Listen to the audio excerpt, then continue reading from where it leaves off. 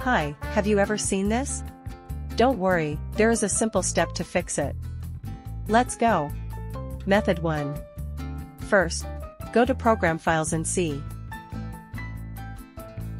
Go to Microsoft Office folder.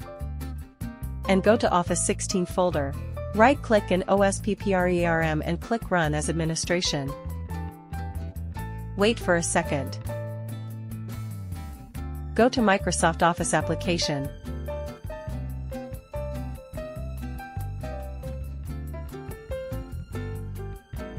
Method 2. Search CMD. And click Run as administration.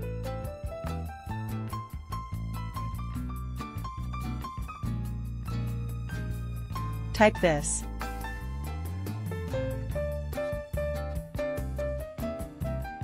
Wait for a second.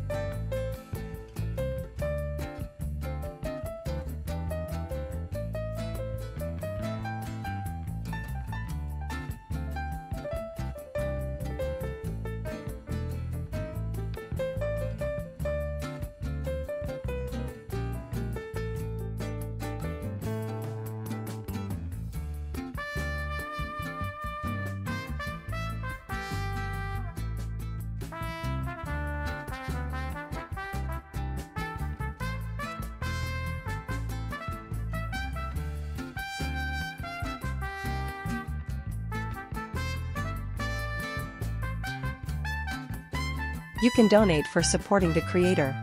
Go to Microsoft Office application. Thanks for watching. Don't forget to subscribe. See you next time.